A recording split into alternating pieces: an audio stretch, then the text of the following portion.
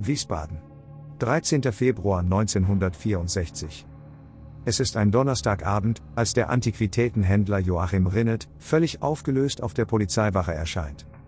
Sein siebenjähriger Sohn Timo war vom Spielen nicht zurückgekehrt.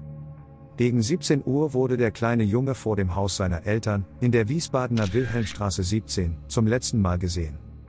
Was folgt, ist die größte Suchaktion im Nachkriegsdeutschland.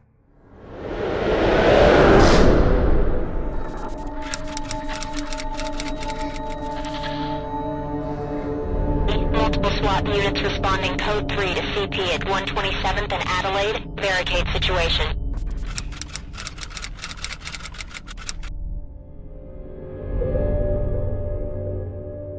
Akte Mord. Dem Täter auf der Spur.